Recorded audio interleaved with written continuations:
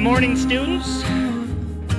Good morning, Principal Miller. I want to commend you. Thank you, sir.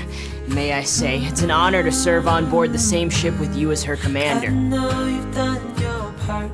It's not fair. You did your time.